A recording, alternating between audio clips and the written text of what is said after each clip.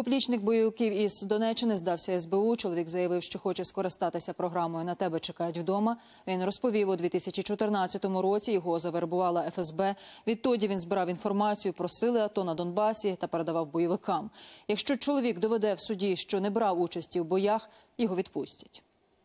Я увидел действительности, что происходит на оккупированной территории. Это мародерство, грабеж. Жизнь обычных людей на данной территории является невыносимой, потому что работы практически нет. А, Узнав о программе «Возвращайся домой», я решил воспользоваться данной программой и вернуться к мирной жизни.